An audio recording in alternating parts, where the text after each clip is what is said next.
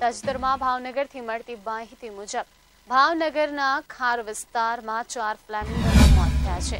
ભાવનગરના ખાર વિસ્તારમાં ચાર ફ્લેમિંગો પક્ષીના મોત નીપજ્યા છે અને હેવી ઇલેક્ટ્રોનિક લાઇનના તારને અડી જતા આ પક્ષીઓના મોત નીપજ્યા હોવાનું જાણવા મળ્યું છે, જ્યારે બે ફ્લેમિંગો ઘાલ થયા છે.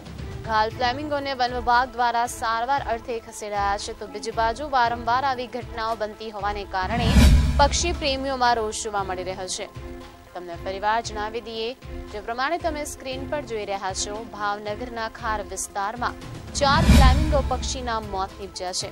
હેવી ઇલેક્ટ્રોનિક લાઇનના તારને અડી જતા પક્ષીઓના મોત નીપજ્યા હોવાનું જાણવા મળ્યું છે, જ્યારે બે ફ્લેમિંગો ઘાયલ થયા છે અને ઘાયલ ફ્લેમિંગોને વન વિભાગ દ્વારા સારવાર અર્થે ખસેડાયા છે. તો બીજી બાજુ વારંવાર આવી ઘટનાઓ બનતી હોવાને કારણે પક્ષી પ્રેમીઓમાં રોષ જોવા મળી રહ્યો છે.